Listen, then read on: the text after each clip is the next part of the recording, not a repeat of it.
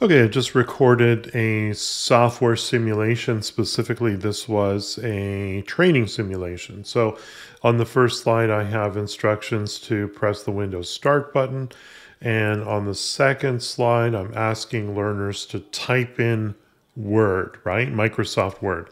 And on the third slide, I clicked on the open item right here in the list. But of course, as we all know, there's multiple ways that you can launch Word from this screen that you see here.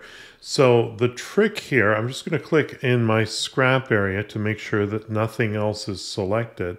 We can add additional click boxes. Did you know? so when I hover over the click box, it, you know, clearly I already have a click box because the check mark is there. But right next to it is a little plus icon. So if I click the plus icon, I have another click box. So now I can add that here.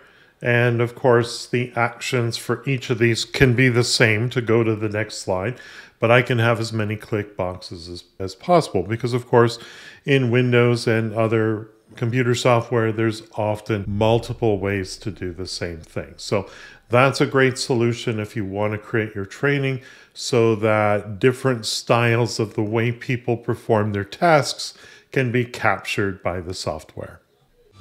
If you thought this video was helpful, please like and share it with your colleagues. If you need help with Adobe Captivate, hire Paul for one-on-one -on -one instruction. Paul's goal is to focus on lessons based on your specific needs. Visit his website at CaptivateTeacher.com. And don't forget to subscribe to his YouTube channel.